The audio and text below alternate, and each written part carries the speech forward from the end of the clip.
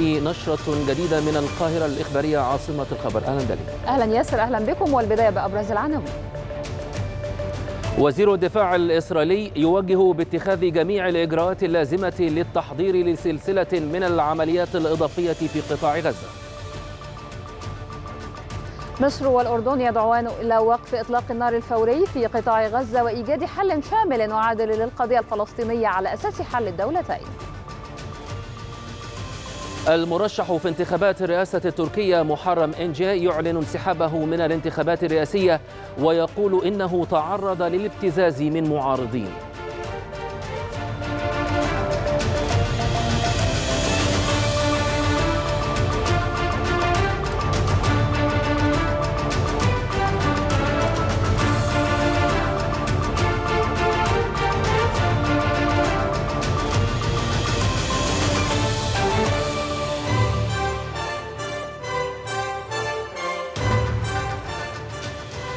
بداية هذه النشرة مع تطورات العدوان الإسرائيلي على قطاع غزة.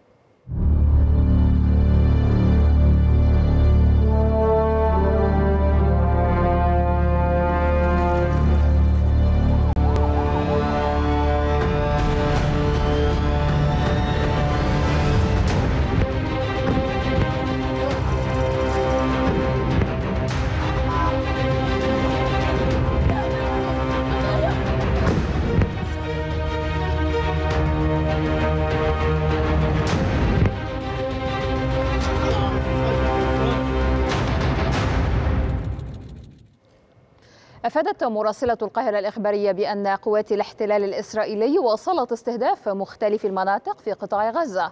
وأضافت أن قوات الاحتلال تواصل إغلاق المعابر والحواجز المؤدية للقطاع وأبرزها بيت حنون الخاص بالأفراد وكرم أبو سالم الخاص بالبضائع. الأمر الذي ينذر بشح في المواد الغذائية والطبية والوقود. في غضون ذلك أعلنت وزارة الصحة الفلسطينية ارتفاع إجمالي شهداء الاعتداءات الإسرائيلية منذ بدايتها إلى 25 شهيدا وإصابة أكثر من 70 آخرين. وقالت مصادر طبية إن من بين الشهداء ال 25 ستة أطفال وثلاث نساء.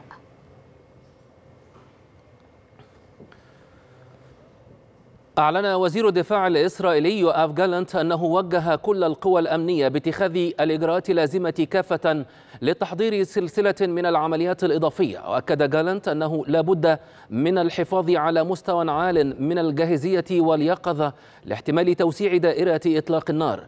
وفي سياق متصل قالت مصادر عسكرية إسرائيلية إن مئات الصواريخ أطلقت من غزة وقد اعترضت أنظمة دفاع الإسرائيلية معظمها.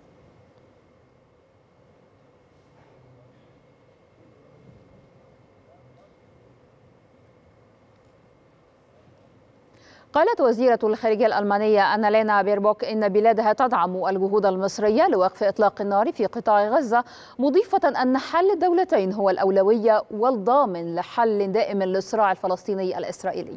وأكدت وزيرة الخارجية الألمانية خلال مؤتمر صحفي في ختام اجتماع وزاري في ميونخ بشأن عملية السلام في الشرق الأوسط أن الاستيطان الإسرائيلي يعرقل الاستقرار والسلام ويخالف القرارات والقوانين الدولية. السيد سامح شكري زميلي من مصر وزير الخارجية المصري قد ألزم جميع الأطراف بوقف إطلاق النار. وكل يوم جديد نرى العديد من الناس الأبرياء يموتون. وأن سفك الدماء ينبغي أن ينتهي الآن. بالنسبة للأيام الأخيرة أن هنالك ليس هنالك شيء أكثر أسفا وإحباطا. في أمام الأزمات التي تواجه الأطفال. هذا هو أن على المقاومة الفلسطينية تحتاج إلى آفاق التفوق بالنسبة لتحديد مستقبل أفضل لأطفالهم. حتى أن هنالك نحتاج إلى موقف جادا نتخذه وبالنسبة لتمثيل وتنفيذ هذه الآراء وأن هنالك العديد من القضايا السياسية التي نحتاج إلى نتشاور بأجلها. دعا وزير الخارجية المصري سامح شكري المجتمع الدولي إلى وقف الاعتداءات الإسرائيلية على الفلسطينيين وحذر من أن توالي التصعيد في غزة ينذر بتفجر الأوضاع بالمنطقة. وقال شكري خلال مؤتمر صحفي في اجتماع ميونخ بشأن عملية السلام إن إنشاء دولة فلسطينية مستقلة هو مسار الحل للقضية الفلسطينية.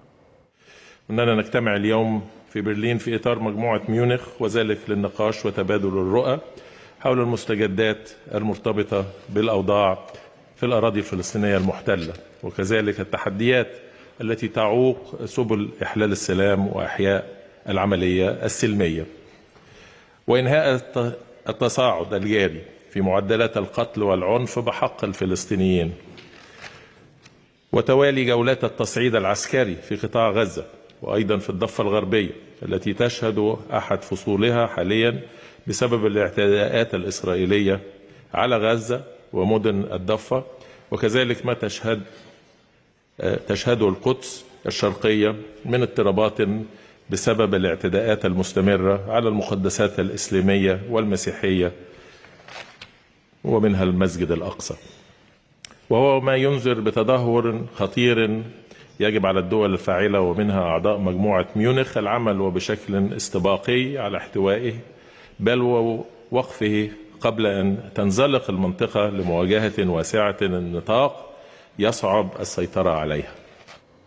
من جهته أكد وزير الخارجية الأردني أيمن الصفدي أنه لا حل للقضية الفلسطينية سوى بحل دولتين ووصف ما يجري في قطاع غزة بالتصعيد الخطير كما شدد على ضرورة تحرك المجتمع الدولي لوقف العدوان الإسرائيلي على غزة ودعا إلى إيجاد أفق تاريخي ينهي الظلم الذي تعرض له الفلسطينيون.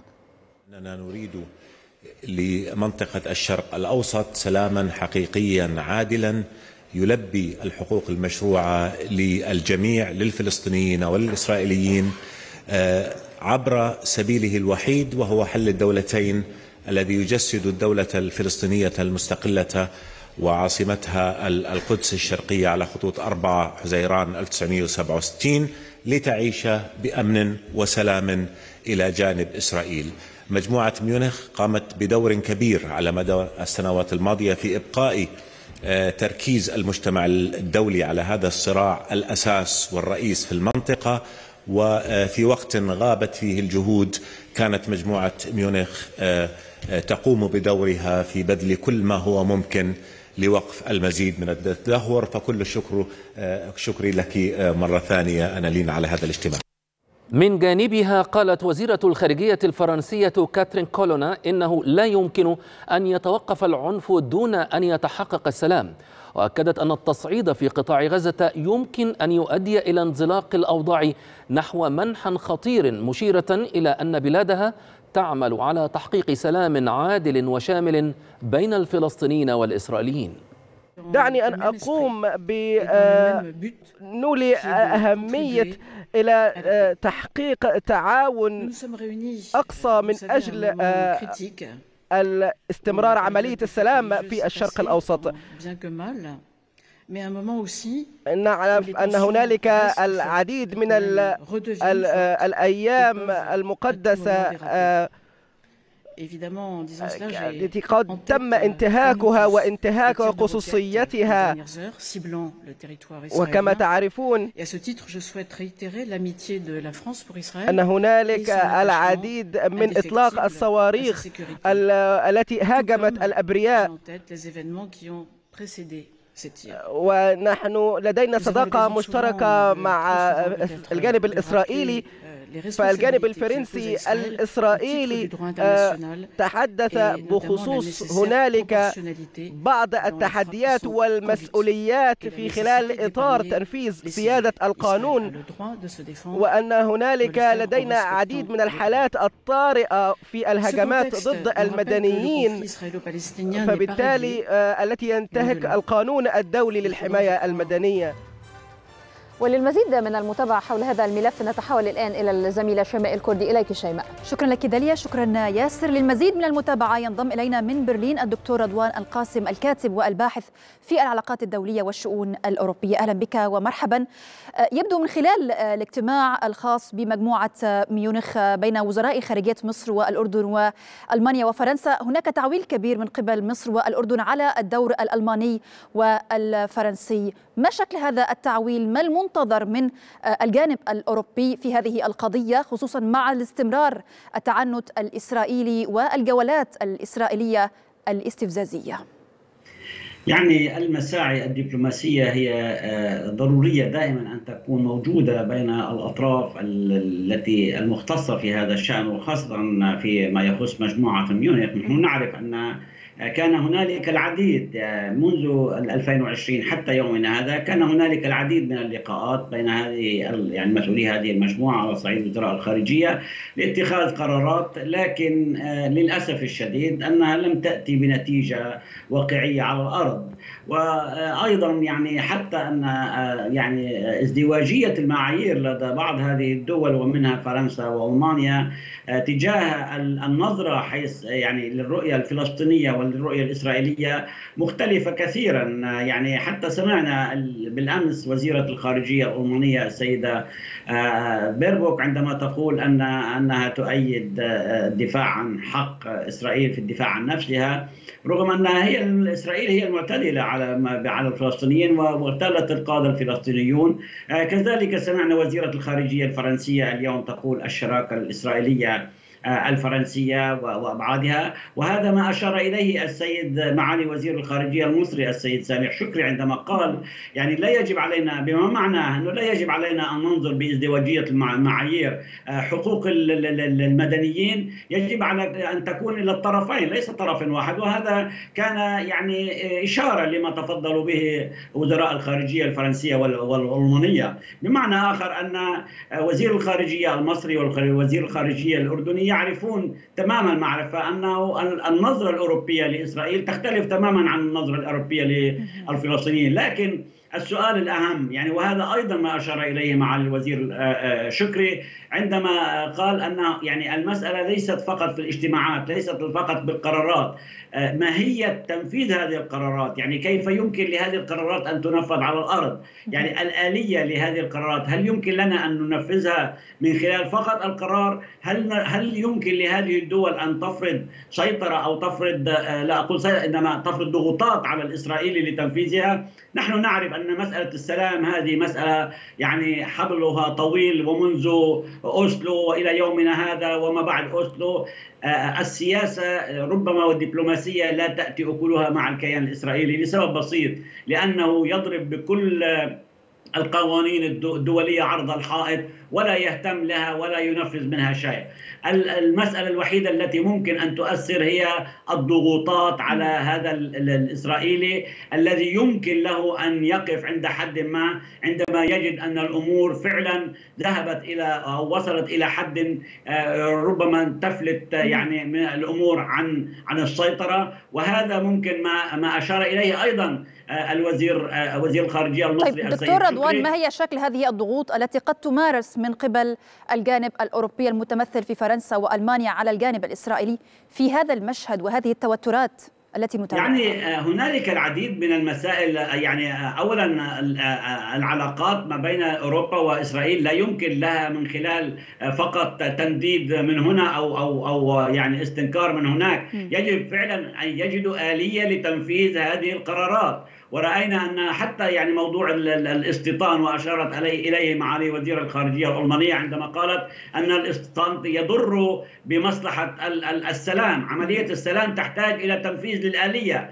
هذه الآلية يجب على الدول الأوروبية أن تجد طريقا لها لوضع ضغوطات على الإسرائيلي أكان اقتصاديا أكان في العلاقات أكان في يعني المستوى الدبلوماسي. هنالك الكثير من المسائل لكن هل قادرين على فعل ذلك؟ أنا أشك في الموضوع وخاصة أن الولايات المتحدة الأمريكية هي لها غطاء كبير أو تعطي غطاء كبيرا للإسرائيلي في هذا الخصوص. ولا أعتقد أن الأوروبيين قادرين أن يخرجوا عن الإرادة الأمريكية. طيب دكتور رضوان من خلال حديث السيدة كاترين كولونا وانالينا بيربوك في هذا الاجتماع هل كانت الكلمات تعكس رغبة حقيقية أوروبية لتسوية هذه الأزمة؟ للمضي قدما في حلول قد تهدئ من الأوضاع خصوصا وأنها تحديدا منذ بداية هذا العام وصلت الأمور إلى حد يعني كبير من الأضرار التي قد تقع في النهاية على إسرائيل ليس فقط على الجانب الفلسطيني. نعم الرغبة موجودة النية حقيقية موجودة لكن كيفية استخدام الآلية لتنفيذ هذه الرغبة. يعني النوايا لدى ألمانيا ولدى فرنسا نوايا سليمة لإقرار السلام ولإقرار التهدئة ووقف إطلاق النار ووقف هذه العمليات من كلا الطرفين. لكن هل هنالك من يستطيع أن يفرض على الإسرائيلي هذه الشروط أو هذه الضغوطات؟ هذا هو السؤال الحقيقي. يعني سمعنا وزير الحرب الإسرائيلي يقول أنه يجب عليه أن يهيئوا للعمليات أكثر فأكثر والتصعيد أكثر فأكثر. بمعنى آخر أن هل الإسرائيلي يريد التهدئة فعلا حاليا طالما أنه يشعر هنالك ضغوطات على الفصائل الفلسطينية لإيقاف هذه الحرب وإطلاق الصواريخ. ربما يأخذ مجاله أكثر الإسرائيلي بموضوع الاغتيالات وموضوع الاعتداءات على على غزة، لكن عندما يجد آلية أو ضغوط معينة حقيقية من قبل الدول الأوروبية ومن قبل الولايات المتحدة الأمريكية وهنا أؤكد على الولايات المتحدة الأمريكية لأنها هي الأساسية في هذا الموضوع بغض النظر عن الأوروبيين ونواياهم السليمة إلا أن لا أحد يستطيع أن يضغط على الإسرائيلي إلا الأمريكي، وطالما هو غائب عن الساحة يعني الامريكي الإسرائيلي يفلت عقاله في هذا الموضوع. الأوروبيون نواياهم سليمة لكن ليس لديهم القدرة على فرض ضغوطات على الإسرائيلي حتى يلتزم بالقرارات التي تتخذ. لهذا السبب أقول أن مصر هي الدولة الوحيدة وأكرر هنا وعبر شاشاتكم قلت مصر هي الدولة الوحيدة التي تفرض ولها القدرة على يعني فرض ضغوطات على الإسرائيلي من عدة زوايا من خلال الحدود من خلال الدبلوماسية من خلال حتى يعني تصل الأمور إلى قطع علاقات أن إذا استمر بهذا العدوان لأن هذا يضل يعني يضر بكل العملية السلمية إذا كان هنالك من عملية سلمية. وخاصة أن أن مصر راعية للقضية الفلسطينية كذلك الأردن.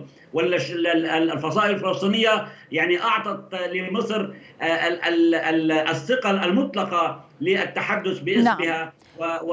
والكون أن تكون هي يعني دائرة شكرا. في موضوع المفاوضات، لهذا السبب القدرة الوحيدة لمصر هي أن تضغط على إسرائيل ووقوفها إلى الجانب الفلسطيني ممكن أن يعزز الموقف الفلسطيني في هذه من هذه الناحية، أما الأوروبيون نعم, نعم لديهم النية لكن وصلت الفكرة، دكتور رضوان قاسم الكاتب والباحث في العلاقات الدولية والشؤون الأوروبية، شكرا جزيلا لك. نعود مرة ثانية لياسر وجدي وداليا أبو عميرة لاستكمال باقي ملفات هذه النشرة. تفضل. شكرا شيماء. قالت وزارة الخارجية الفلسطينية إن رئيس الحكومة الإسرائيلية بنيامين نتنياهو يستغل ازدواجية المعايير الدولية للتغطية على جرائمه بحق الشعب الفلسطيني والتي أدت إلى سقوط ضحايا من المدنيين الفلسطينيين بمن فيهم الأطفال والنساء. وأشارت وزارة الخارجية في بيان صحفي إلى أن صمت المجتمع الدولي على تلك الجرائم يعد ضوءا أخضرا للاستمرار فيها.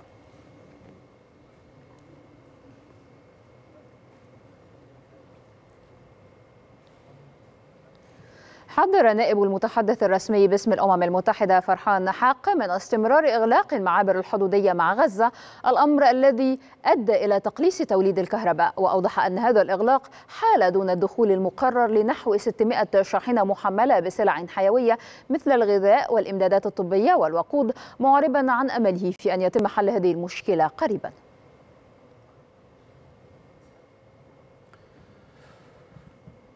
حثت الخارجية الصينية في بيان لها الأطراف المعنية خاصة الجانب الإسرائيلي بوقف إطلاق النار على الفور لمنع المزيد من التصعيد. وطالبت الخارجية الصينية سلطات الاحتلال الإسرائيلي بالالتزام بأقصى درجات ضبط النفس معربة عن قلقها البالغ إزاء التصعيد الأخير الذي أودى بحياة 25 فلسطينياً. الآن نتحول إلى سباق الانتخابات الرئاسية والبرلمانية في تركيا.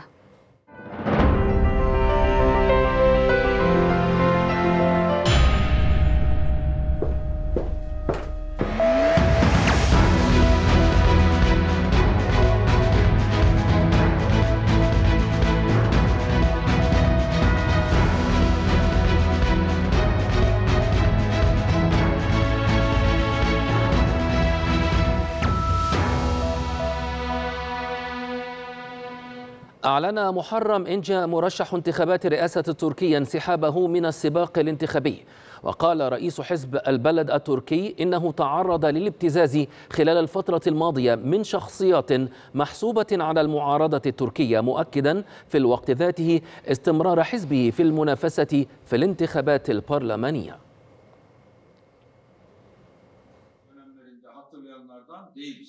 Diğer partilerden farklı olarak daha Memleket Partisi'nin kuruluşunda parti programında وكانت استطلاعات الرأي الأخيرة أظهرت حصول محرم إنجي على نسبة لم تتجاوز الأربعة في المئة. كان إنجي خلال الفترة الماضية يشير إلى تعرضه لضغوطات من أجل الانسحاب لمرشح المعارضة كمال كليتشدار أوغلو كما قام بإلغاء فعاليات انتخابية خلال اليومين الماضيين.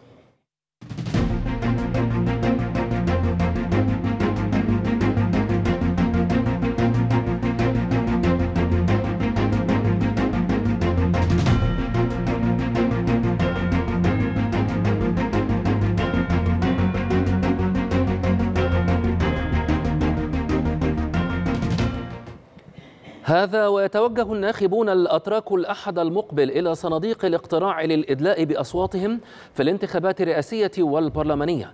ويتنافس في الانتخابات الرئاسية ثلاثة مرشحين بعد انسحاب محرم إنجي مرشح حزب البلد التركي. يأتي في مقدمتهم الرئيس الحالي رجب طيب أردوغان ومرشح المعارضة كمال كلتجار أوغلو مرشح تحالف الأمة. كما سيصوت الناخبون لاختيار أعضاء البرلمان.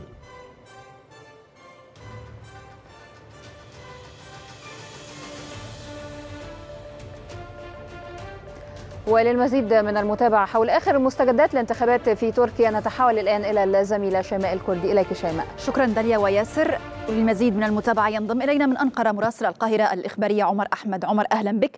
آه إذا من خلال كلمة ألقاها من أمام مقر حزبه الرئيسي في العاصمة أنقرة يعلن آه إنجي آه انسحابه من العملية الانتخابية برمتها. ما هي ملابسات هذا الانسحاب في وقت كان يشدد أنه لن ينسحب من هذه العملية؟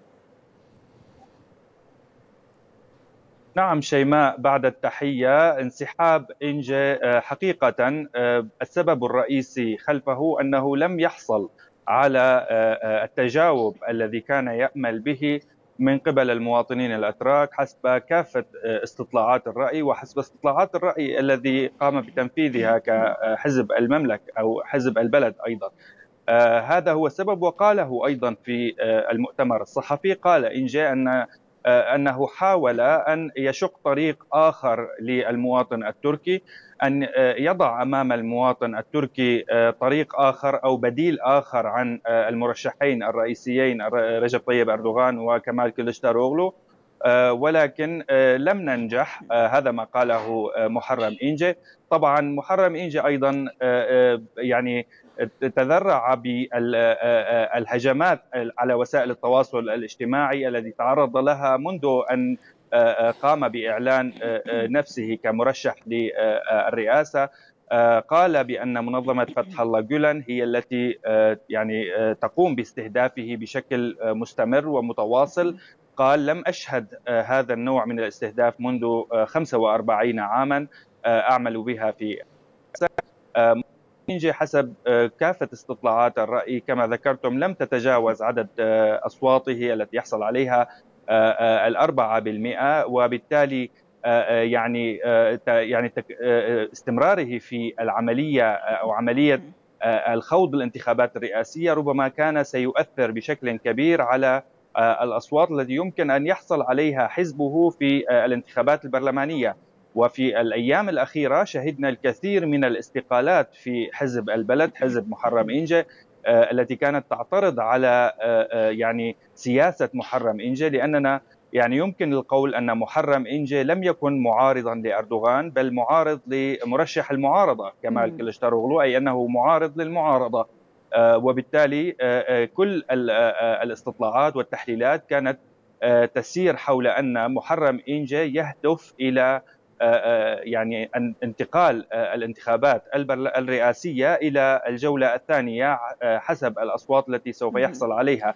وبالتالي الآن يعني باعتبار أن معظم الأصوات التي سوف يحصل عليها أو التي كان سيحصل عليها محرم انجي كانت من المعارضة أو خصوصا من حزب الشعب الجمهوري يمكن القول أنها يعني بأغلبيتها سوف تعود إلى مرشح المعارضة كمال كلشتاروغلو والآن منذ الآن بدأ المحللون السياسيون الأتراك يتحدثون عن إمكانية حسم الانتخابات الرئاسية من الجولة الأولى لصالح مرشح المعارضة حقيقة. هذا ما يتم الحديث عنه حاليا. ومحرم انجا في هذا الانسحاب اولا يحاول الحفاظ على شخصيته السياسية خلال السنوات المقبلة. وثانيا يحاول أن يعني يستخلص أو يخرج الذريعة التي كان كانت الأطراف المعارضة حقيقة تصبها على محرم إنجا بأنه يعني يجعل الانتخابات الرئاسية مستحيلة من الجولة الأولى ويؤدي بها إلى الجولة الثانية. طيب إذا كان الأمر عمر يتعلق فقط الجولة الثانية. إذا كان الأمر يتعلق فقط بانسحابه من هذه العملية بنتائج استطلاعات الرأي. ما حقيقة الضغوط والابتزازات التي مورست على انجي والذي تحدث عنها؟ يعني حقيقة في الأيام الأخيرة بدأ الكثير من طبعا نحن نتحدث عن وسائل التواصل الاجتماعي لا يوجد أي شيء مؤكد أو رسمي حتى الآن. هناك الكثير ممن اتهموا محرم إنجي بأنه تلقى الأموال من حزب العدالة والتنمية حتى يستمر ب يعني منافسته على الانتخابات الرئاسية. هناك من نشر أيضا الأوراق ادعى أنها رسمية بأنه قبض الكثير من الأموال نعم. محرم إنجا لاستمراره بالعملية الانتخابية.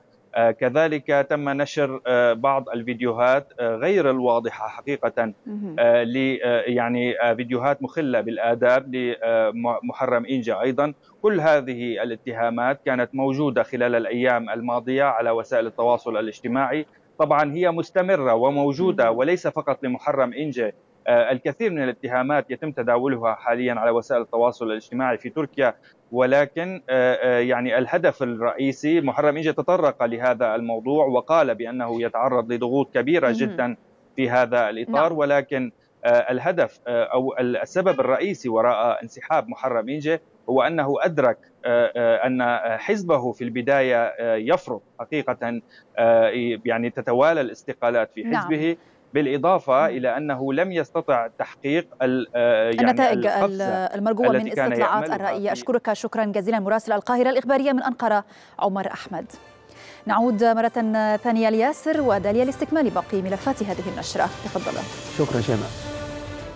الآن مشاهدينا إلى تطورات الأوضاع في السودان.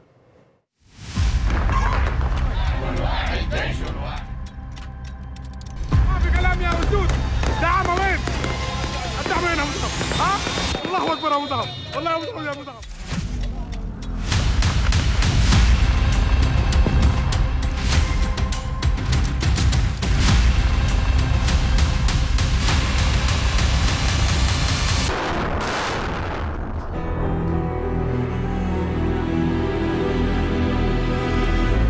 أوضاع أوضاع سيئة جدا جدا. أوضاع رديئة جدا جدا. معاناة كثيرة من الموية. لا توجد عندنا ماء تماما. ولا يوجد عندنا كهرباء.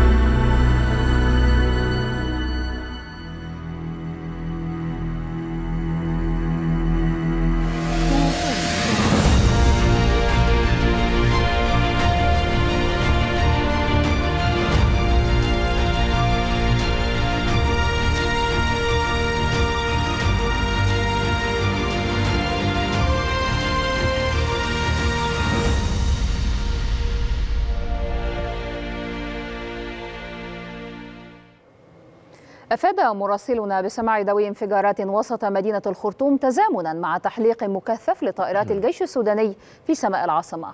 وأضاف مراسلنا أن اشتباكات عنيفة جرت في منطقة الحلفاية بين الجيش السوداني والدعم السريع استخدمت فيها جميع أنواع الأسلحة. قال الجيش السوداني إنه تلاحظ لجوء الدعم السريع إلى استخدام الدراجات البخارية بطريقة مكثفة في تحركاتهم مشيرا إلى أن على متنها أفرادا يرتدون أزياء مدنية مما يجعلها أهدافا مشروعة للتعامل معها بواسطة قواته. ونوه الجيش السوداني إلى أن موا... إلى مواطنيه بعدم استخدام الدراجات البخارية مؤقتا لحين انتهاء العمليات حفاظا على أرواحهم. قالت نقابة أطباء السودان إن 67% من المستشفيات القريبة من مناطق الاشتباكات متوقفة عن الخدمة. وأشارت النقابة إلى أن 59 مستشفى من أصل 88 مستشفى أساسية في العاصمة والولايات متوقفة عن الخدمة و29 مستشفى تعمل بشكل كامل أو جزئي. وهي مهددة بالإغلاق أيضا نتيجة لنقص الكوادر الطبية والإمدادات والتيار المائي والكهربائي. كما أضافت أن جميع المرافق الصحية خارج الخدمة في مدينة الجنينة بعد أن تم الاعتداء عليها ونهب المخزن المركزي للدواء وسكن الأطباء. كذلك مكاتب الهلال الأحمر.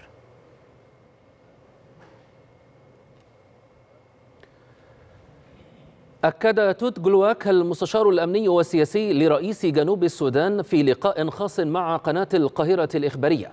أن اتصالات مشتركة تجرى بين رئيسي مصر وجنوب السودان ورئيس مجلس السيادة في السودان بهدف إحلال السلام هناك. كذلك أضاف أن هناك قمة مرتقبة ستعقد بين رؤساء مصر وجنوب السودان وتشاد من أجل ضمان ضمان وقف دائم لإطلاق النار في السودان. جنوب السودان ومصر وشاد دول المتعثر الآن حرب موجود في في السودان. والدول طوال اتصلوا مباشرة بيناتو في اتصال بين الرؤساء لإدارة الموقف موجود في السودان وبعد هذا كان في أي زيادة من الدول الجوهر السودان يبقى لكن الدول الآن جاهز و و... وعارفين الوضع في السودان معقد جدا مصر وجنوب السودان وشاد وأكثر دول الان فيه نزوه لكل المواطنين وأكثر دول الان آه بيحصل فيه تقلد واضح ده كان دام حرب في السودان ونحن حريصين نحن الحرب في السودان يجيب كل ابناء بقاتل في السودان كل ابناء السودان. آه ولازم يكون في سلام في السودان. بأسرع فرصة ممكن. وأضاف توت جلواك أن رؤية بلاده تتفق مع الرؤية المصرية بشأن ضرورة الوقف الفوري والشامل لإطلاق النار وإحلال السلام في السودان. وأكد أنه لابد من التوصل إلى حل سياسي للأزمة بدلا من الحل العسكري لوقف نزيف الدماء. هذا لازم نحن نتشكل كلنا نركز لحنا وقت نار في السودان ونفتح مناطق معمرة للمواطنين وبعدها يكون في التزام لو نار شامل بعدها الناس يمشي التطور التربية الناس تناقش القضايا ثلاثة الحرب وناس وصل فيه لاتفاقيات مرضى عشان استقرار لشعب السودان. لأنه كان في زعزع في السودان بعدد أمن مصر بعدد أمن دولة جنوب السودان. ونسعى لحنا نحن نكون حريصين لو قفت الدم في السودان. يواصل معبر قسطل البري على الحدود المصرية السودانية استقبال العائدين من السودان إلى الأراضي المصرية من مختلف الجنسيات. كما يواصل المعبر تقديم الخدمات والدعم للعابرين في مختلف المجالات كالدعم الطبي والنفسي والغذائي بالإضافة إلى الدعم اللوجستي على مدار الساعة. هذا وتواصل الأطقم الطبية والإسعاف تقديم خدماتها إلى العابرين في ظل توافد آلاف الوافدين إلى الأراضي المصرية.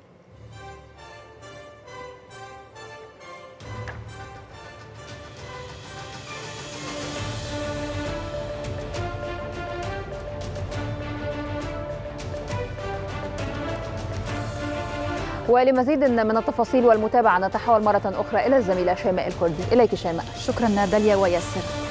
للمزيد من المتابعة ينضم إلينا من معبر قسطل مراسل القاهرة الإخبارية مصطفى عبد الفتاح. مصطفى أهلا بك. عشرات الآلاف من الوافدين من الأراضي السودانية دخلوا إلى الأراضي المصرية عبر هذا المعبر. لابد من وجود بالطبع خدمات تقدم من قبل السلطات المصرية لوجستية وطبية وغذائية. حدثني عن مزيد من تفاصيل هذه الخدمات وجودة هذه الخدمات في ظل هذه الأعداد.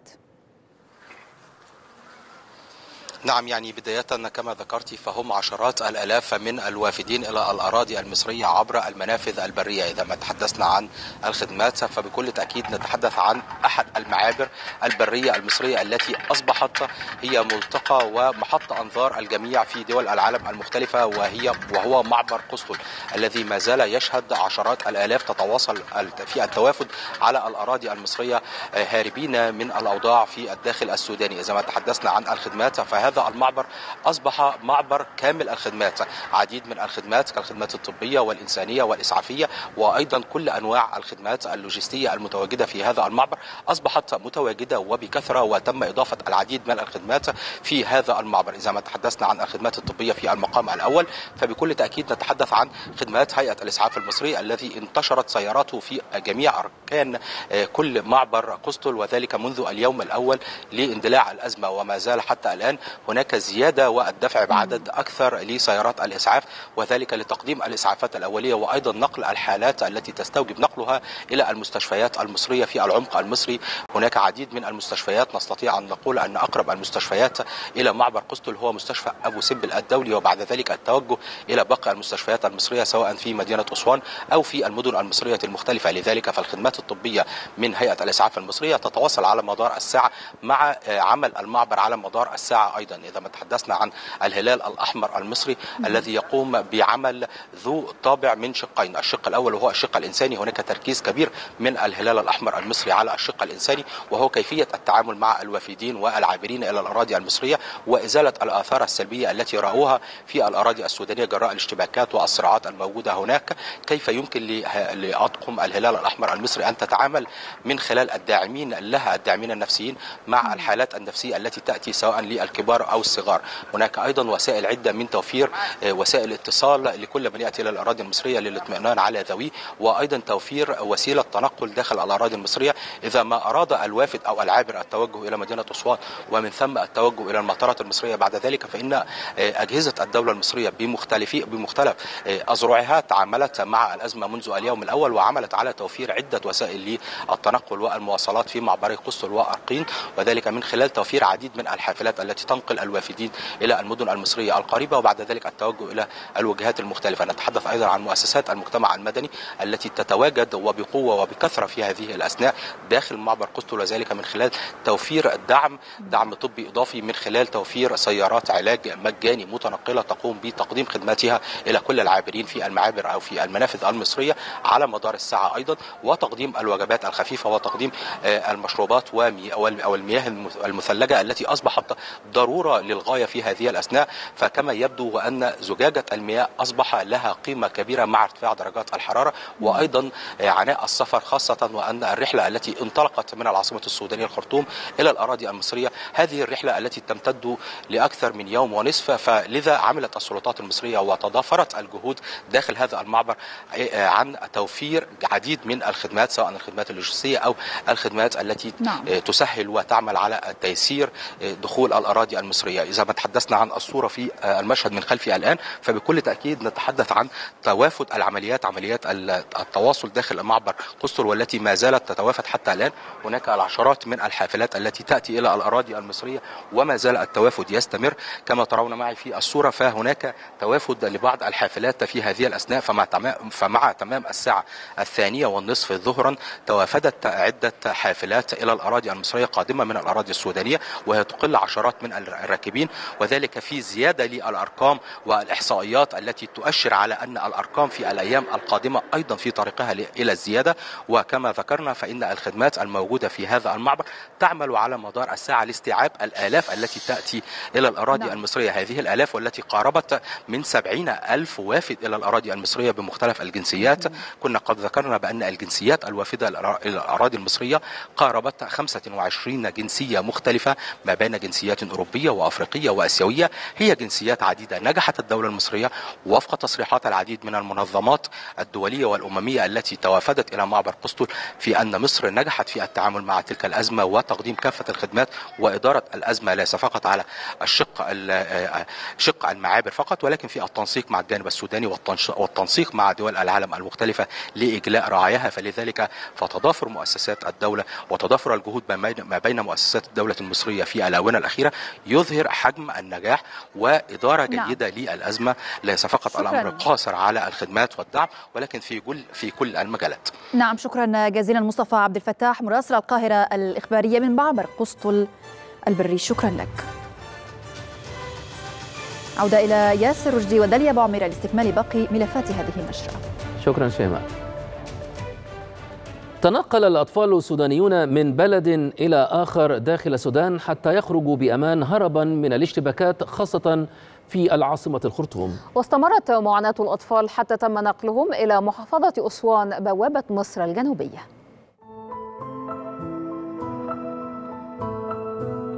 الطيارات والقنابل بتفك قذايف في جنب البيوت وبتحرق. آه هناك كانت آه يعني الطرق الطرق صعبة.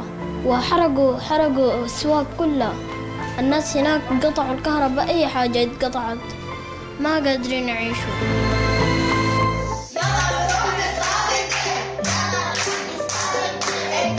شتان بين طاهر الأمس وطاهر اليوم. طفولة أغتيلت براءتها. حاول هؤلاء الأطباء والميسرين تصحيح ما استطاعوا منها لينال قسطا من النسيان الحميد. مع رفاقه عبر دعمهم بمختلف أنشطة نادي الأسرة بساحة وادي كركر الدولية. الفيدباك بنشوفه في وقته على طول. آه، مجرد آه، ما يدخل الطفل ويبتدي يندمج في الأنشطة اللي إحنا بنقدمها آه، بيبتدي يظهر ال- ال- التأثير أو رد الفعل بتاعه. مشاهد لم تستطع الكاميرا التقاطها أثناء رسمها وثقتها حناجر الداعمين لأطفال فزعتهم الأحداث تاركين فحوى نفوسهم على الجدران شاهده في حالة طفلة بتقول أنا اسمي آه، بترسم فبقول لها ليه بترسمي ده؟ بتقولي أنا برسم بنت اسمها ليلى ليلى دي تاهت من أهلها وموجودة في الشارع ومش لاقي حد يساعدها. هي هي يعني بالفعل كانت بتتكلم عن نفسها. البنت كانت حزينة جدا جدا وكانت محبطة قوي وكانت عماله تعيط يعني. آه، عايزه أقول لحضرتك بعد ساعة من وجودها في النادي كانت فرحانة وبتلعب لأنها مارست نشاط. فبجد يعني اللي بيحصل هنا في في في كركر فعلا نقلة حلوة قوي قوي نقلة للإنسانية. يلا نروح نستعرض. يلا نروح.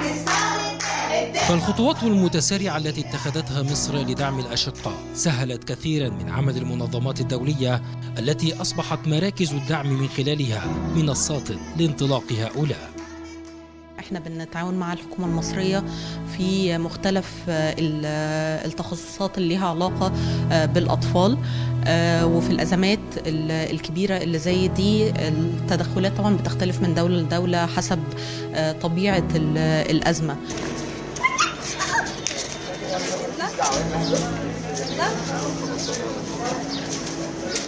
خلف هذا الباب الصغير يجدو الأطفال السودانيون بعيدا عن ماضيهم القريب الذي أرهق طفولتهم.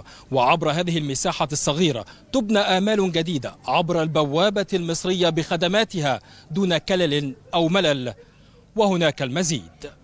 هنا تكتمل مشاهد التداوي لدعم الوافدين من خلال هذه العيادات المتنقلة وعلى لسان المتحدث الرسمي باسم وزارة الصحة المصرية تم تطعيم 2100 طفل ضد شلل الأطفال و731 طفلة ضد الحصبة والحصبة الألمانية من محافظة أسوان المصرية رمضان المطعاني هنا القاهرة عاصمة الخبر.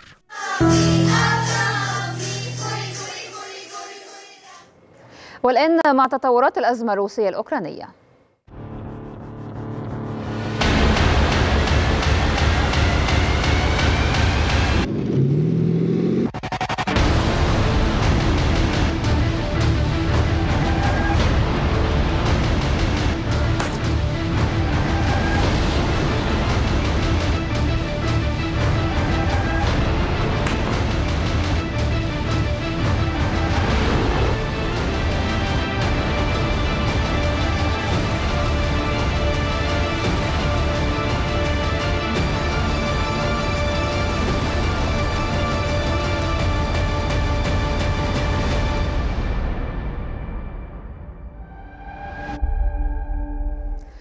وزير الدفاع البريطاني بن والاس تزويد أوكرانيا بصواريخ ستورم شادو بعيدة المدى.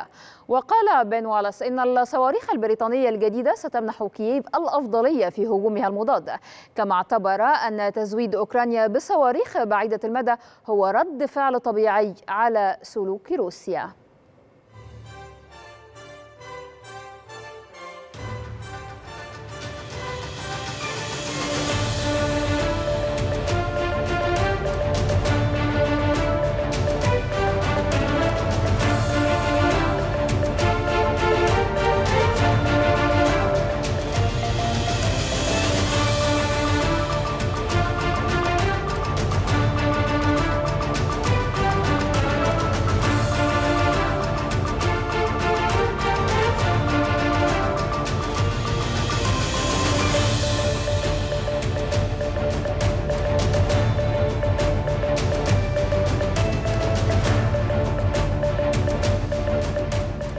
أعلنت الرئاسة الروسية الكرملين أن قيام بريطانيا بتزويد أوكرانيا بصواريخ كروز طويلة المدى يتطلب ردا مناسبا من الجيش الروسي وفي رده على التقارير التي أفادت بتزويد بريطانيا لأوكرانيا بتلك الصواريخ قال المتحدث باسم الكرملين ديمتري بيسكوف.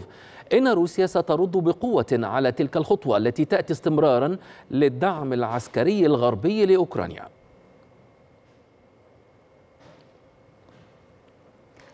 قال الرئيس الأوكراني فولوديمير زيلينسكي إن الهجوم المضاد الأوكراني يحتاج إلى مزيد من الوقت لأن إطلاقه حاليا سيزهق الكثير من الأرواح. وتعهد زيلينسكي باستعادة الأراضي الأوكرانية كافة من روسيا مشيرا إلى أن الاستعدادات جارية بالفعل في أوكرانيا لإعادة بناء البلاد التي مزقتها الحرب. أعلن حاكم منطقة بيريانسك ألكسندر بوغوماز أن طائرة مسيرة أوكرانية هاجمت مستودعا للتخزين النفطي في المنطقة الروسية التي تقع على الحدود. وأضاف أن الهجوم على المنشأة التي تقع بالقرب من بلدة كلينسي لم يسفر عن سقوط ضحايا على الرغم من أن خزانا للنفط تعرض لأضرار.